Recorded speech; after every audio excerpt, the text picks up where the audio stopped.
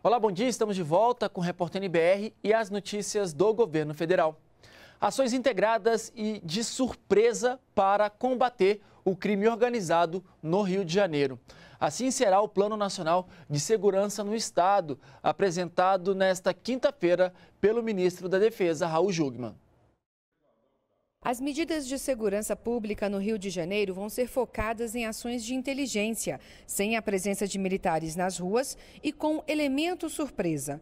Ou seja, as autoridades não vão mais anunciar as operações com antecedência e nem dar detalhes como efetivo e recursos empenhados. Segundo o ministro da Defesa, as operações de garantia da lei e da ordem, que têm como característica a presença ostensiva das Forças Armadas nas ruas da cidade, inibiam o crime organizado. Mas quando a operação acabava, os criminosos voltavam a atuar. Não esperem o esquema tradicional Patrulhas, elas poderão acontecer, vias poderão acontecer, mas não é este modelo ostensivo que apenas inibe o crime, mas não reduz a sua capacidade operacional. O que você tem que fazer é a surpresa, é a imprevisibilidade, atacar o comando do crime, os seus arsenais e as rotas. E isso será feito em momentos sucessivos e alternados jogando sempre na imprevisibilidade, na surpresa e na inteligência, porque esse é o carro-chefe. As medidas do Plano Nacional de Segurança para o Rio de Janeiro foram apresentadas durante reunião do Comando Militar do Leste, na capital carioca. Raul Jungmann afirmou também que as ações vão ser realizadas de forma integrada, com a participação de todas as forças de segurança pública, a exemplo do que ocorreu durante os Jogos Olímpicos ano passado. O ministro alertou para o risco de reação por parte dos bandidos. Atacar o comando do crime, encontrar, localizar os seus arsenais, destruir ou obstruir as suas rotas, terão respostas e desafio do crime organizado. E é preciso que a sociedade que deseja, óbvio, se ver livre ou pelo menos reduzir os índices de insegurança do Rio de Janeiro tenha consciência disso. Tempos difíceis, tempos extraordinários requerem medidas difíceis e extraordinárias. A operação vai durar até o final de 2018 e vai ser acompanhada de ações sociais. Hoje é Dia Mundial de Luta contra as Hepatites Virais. O Ministério da Saúde anunciou a meta de zerar até o fim deste ano a fila de pacientes graves de hepatite C. E em dois anos, todos os pacientes diagnosticados com a doença vão ter acesso gradativo a medicamentos que apresentam até 90% de cura.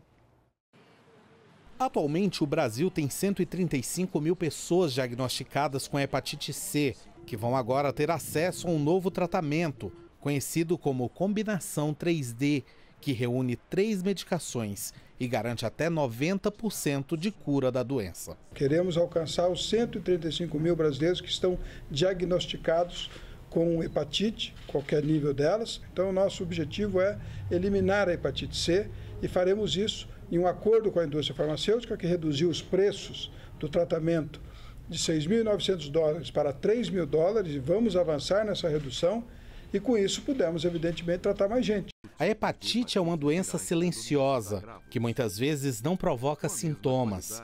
Por isso, o Ministério da Saúde distribui testes rápidos para detectar a doença. Até o fim do ano, serão 12 milhões de testes distribuídos em todo o país. O importante é lembrar que a testagem vai identificar novas pessoas que entrarão no tratamento também. Nós esperamos alcançar todos os brasileiros que estão infectados e não sabem. E a testagem é que é o fundamental. Epaminondas Campos descobriu a hepatite há 15 anos, após fazer um exame de sangue de rotina. Ele conta que o diagnóstico no início da doença foi fundamental para poder evitar danos ao fígado. Eu tenho uma vida normal, porque, assim, bastante normal, assim, não, não altera em nada. É claro que eu tenho que diminuir certas coisas que possam afetar meu fígado, né? Porque eu tenho uma doença hepática, né?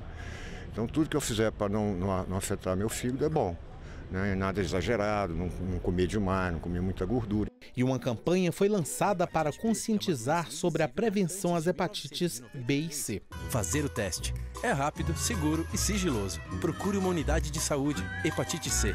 Não deixe que ela te pegue de surpresa. De abril a junho deste ano, a taxa de desemprego no país registrou queda. Os números foram divulgados agora há pouco pelo IBGE. E que tem mais informações para a gente ao vivo é o repórter João Pedro Neto. Oi, João Pedro. Leandro, é isso mesmo, viu? A taxa de desocupação, o desemprego no país ficou, medido pelo IBGE, ficou em 13%, 13,0% no trimestre encerrado no mês de junho agora, ou seja, caiu, viu, Leandro? Caiu 0,7 ponto percentual na comparação com o trimestre anterior encerrado em março, quando essa taxa estava em 13,7%. Ou seja, viu, Leandro, segundo o estudo, isso significa que são cerca de 690 mil pessoas a menos que estão desocupadas no país. E com isso, o trimestre encerrado em junho fecha com 13 milhões e meio de pessoas desempregadas, de trabalhadores desempregados no país. Também uma redução de quase 5% em relação ao trimestre anterior anterior. Segundo o IBGE, Leandro, essa é a primeira queda, é o primeiro recuo na taxa de desocupação no país desde o último trimestre de 2014.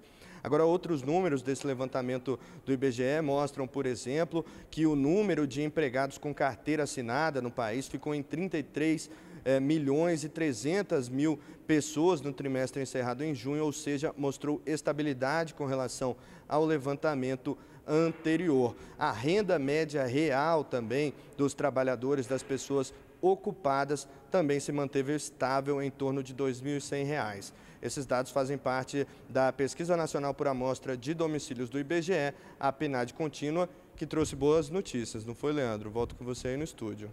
Verdade, João Pedro. Obrigado pelas suas informações aí do Palácio Planalto.